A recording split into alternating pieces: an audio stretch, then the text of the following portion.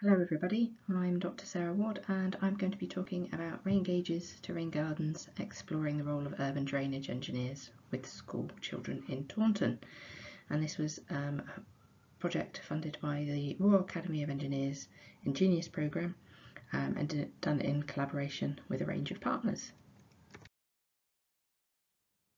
So the project itself was called West Country Women Working with Water or 5W and to put the project in context there were some um, agendas that we wanted to embed within the project around STEM subjects and achieving gender balance within STEM um, and how in particular to do this in underserved areas.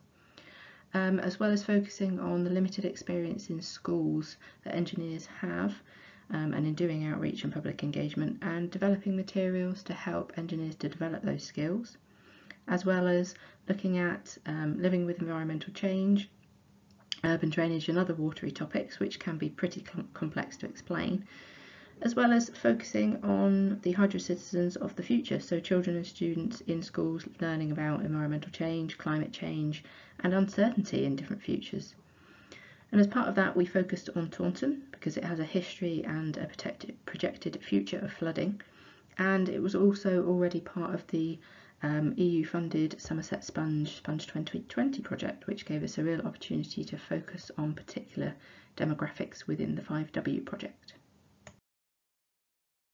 The focus on Taunton came from um, some pre-existing work that had been done by the DEFRA-funded Local Action Project, um, and that was focused on the floods and sustainable drainage systems potential in Taunton. Uh, and areas were selected using 12 environmental, social, culture and economic indicators to make strategic decisions and we decided it would be useful to follow up that work um, and use that as a basis for selecting the areas that we would focus on within the project and the schools that came forward um, based on those um, indicators were in the Holway and Lyngford area of areas of Taunton so we focused on those. So in conversation with the teachers um, and the eco champions at the schools, we developed some aims and some objectives um, and we also um, co-created these with the engineers and the educational professionals working across the different partner organisations.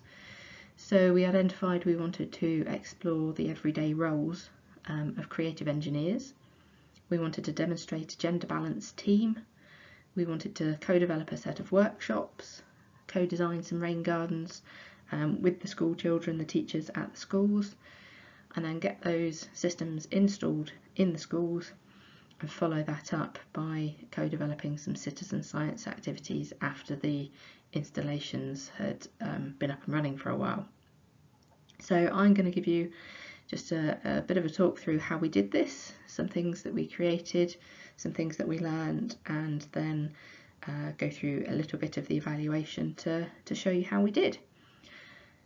So first of all, we learned how to work in schools with children and we co-created session plans. Uh, we looked at developing in-class worksheets that the teachers could use before we um, went along to do the workshops um, and also that we could take with us while doing the workshops. We had to learn to turn expert language into something understandable. Um, so we had to kind of de-jargon uh, the, the language and the materials. And we also had to learn classroom control and ways of moving around the class um, that the children and the, the students were used to. Um, and this is where we learned to really appreciate how um, teachers and the methods that teachers use to bring classrooms, which can be quite rowdy, under control um, in quite a, an easy um, and stress-free way. So just shown here is a example of a, a lesson plan that we created focusing on three questions which the children could engage with um, and these were co-created between the engineers and the um, engagement professionals. So building on from that we did workshops and activities in the schools and these are some um, photos of the activities that we created. So on the top left we've got the puddle treasure hunt and mapping and that was where we got the children outside. Luckily, the weather was with us, um, looking for puddles or areas where puddles um, would form, so areas around their school where they knew that water would gather. We also hunted for downpipes um, and lots of different things related to um, urban drainage around the school.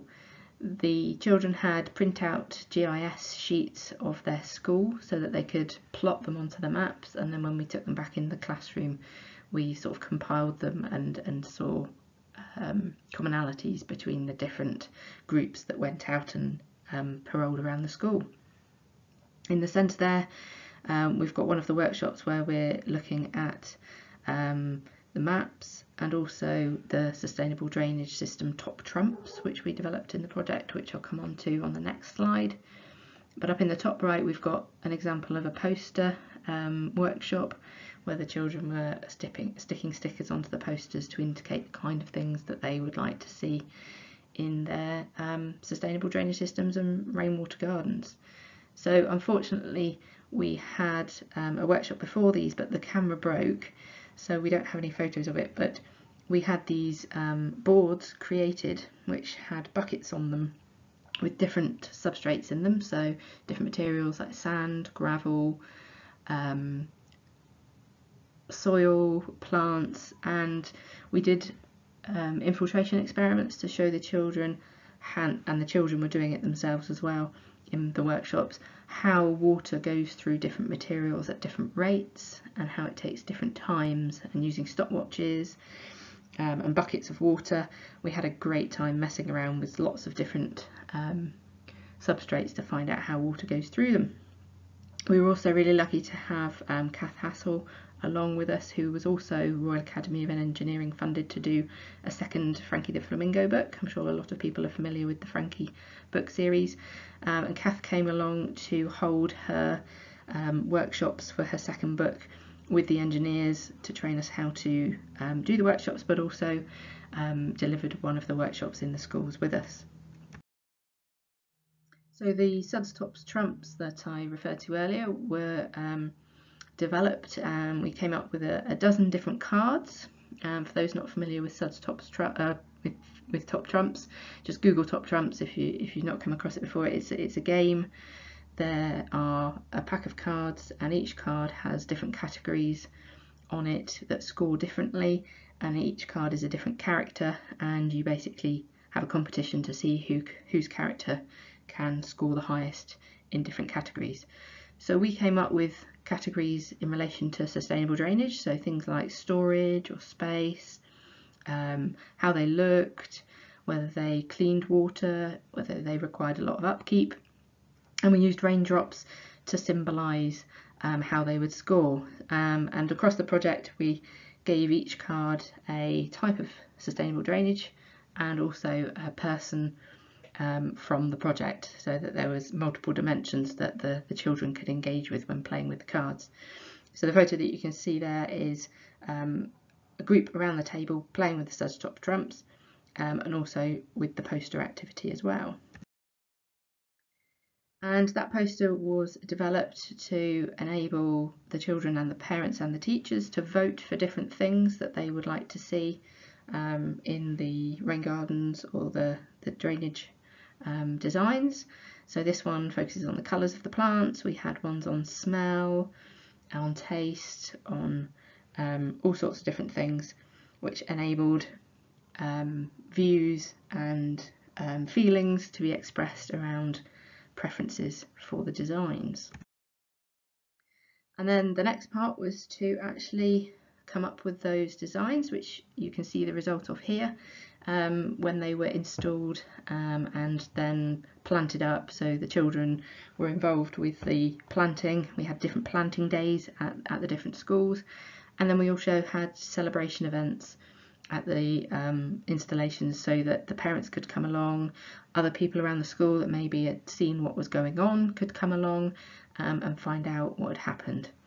Um, and the cloud on the left hand side was it was really important to the children that the um, plants planted were edible because the school has guinea pigs so that was a, a really nice feature that the children had thought of there and so they grew over the summer um, from a, a, pile of mud in, in one case into a lovely um, planted area for water retention at one of the schools. Installed some rain gauges that would hopefully um, enable us to do some citizen science, although because of the um, COVID situation, we're having to think about how that might be taken forward. So how did we do? Um, well, we did an evaluation, which was uh, forms and interviews with the, the students, the teachers and the parents.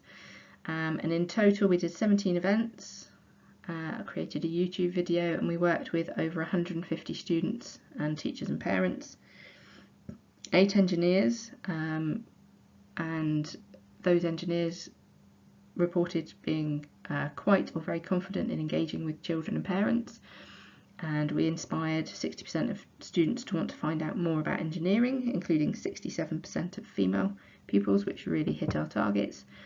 Um, and we found that 85% of parents were more likely to encourage STEM involvement, which was really um, heartening to hear.